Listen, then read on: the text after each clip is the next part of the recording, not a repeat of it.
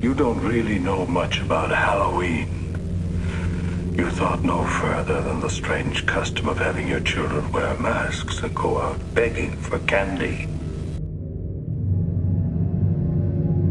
The last great one took place 3,000 years ago when the hills ran red with the blood of animals and children. I do love a good joke, and this is the best ever. A joke on the children.